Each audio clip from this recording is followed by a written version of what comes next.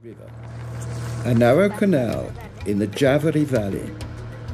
It is harsh territory, full of caimans and poisonous snakes, where numerous jaguars still roam and where malaria and yellow fever have become an accepted part of the life cycle. The ability to see the future and talk with animals is fairly common among the Matses. Add to this the fact that they are mostly hunters, it is not surprising then that they see the jaguar as the most powerful among the spirit hierarchy.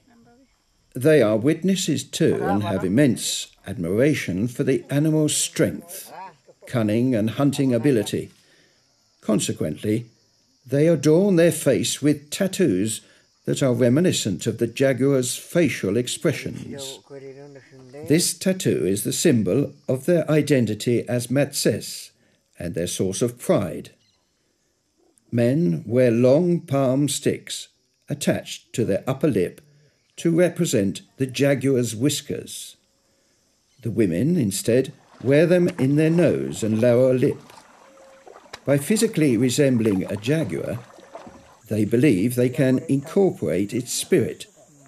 They also paint their body and face with uruku, drawing thick stripes on their forehead and around their eyes to ensure invisibility and guarantee acute vision. The Matses firmly believe that all those who hunt indiscriminately will sooner or later end up with no prey at all. Frequent hunting means conversing with the animals, asking them to allow themselves to be captured and then be killed and eaten. The forest is, in spite of its perils, the Matses' main ally in their fight for survival. Their most common prey are birds of various species, monkeys and rodents, hunted after endless hours of tracking and stalking, with perfect imitations of the animal call signals. Usually, small game adequately rounds out the diet in terms of basic protein requirement which is always guaranteed by hunting and fishing.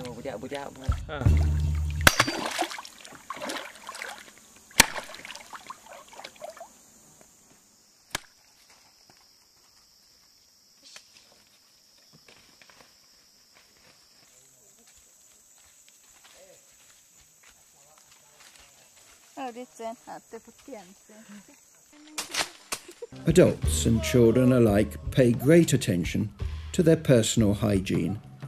And during those moments when they are resting, they often dedicate time and effort to the task of grooming themselves. Because they live in such direct contact with a free environment, which is also full of potential danger, they are vulnerable to diseases transmitted by parasites and minuscule insects called Bushimpi. Now, Pablo and his sons are preparing for a hunt, which will last several days, and therefore they will need the sapo. The term sapo refers to both the large tree frog by that name and to the drug with its multiple connotations. To collect the sapo, the Matses catch the frog at night. The amphibian is easy to recognize as it does not croak like all other frogs, but rather emits a guttural sound similar to a dog's bark. It is handled very gently and kept captive for three days.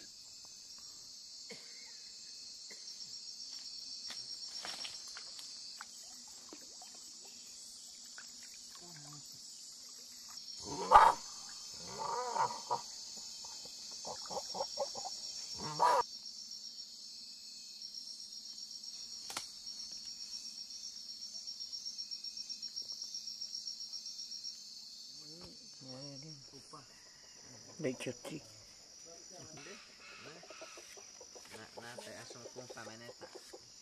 Ya bu pide ke bon. Lechosse.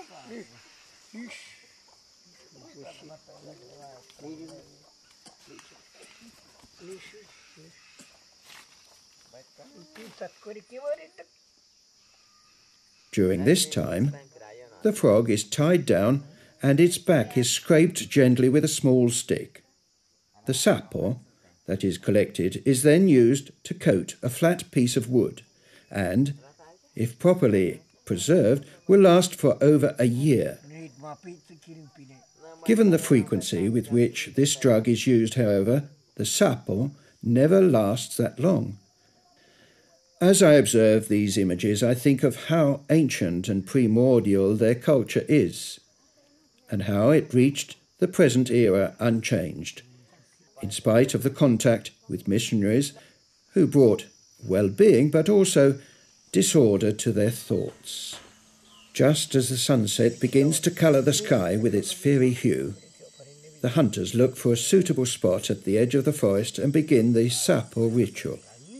They first scrape some of the resin from the stick and add some saliva to thin it. Next, they use the tip of an ember hot tree branch and burn a spot on their skin. The burnt skin is removed and the liquefied sapo applied to the wound. The size of the burn rarely exceeds the dimension of a match head, but the effect is staggering. From the instant in which the drug comes into contact with the skin, the body begins to heat up. In just a few moments, the feeling is one of burning inside, and the whole body begins to sweat. The pulse accelerates, and the heart hammers furiously. One can feel every artery and vein in the body open up to allow for the rapid flow of blood. One loses control over all bodily functions to the point of defecating, crying, and drooling helplessly. The throbbing drumbeat of the blood coursing through the body drowns out all other sounds. The pain is so great as to be intolerable and makes one wish for death. Finally, there are cramps to the stomach, and one vomits violently. Then, from total exhaustion, one falls to the ground unconscious. Upon reawakening, the feeling of strength is explosive.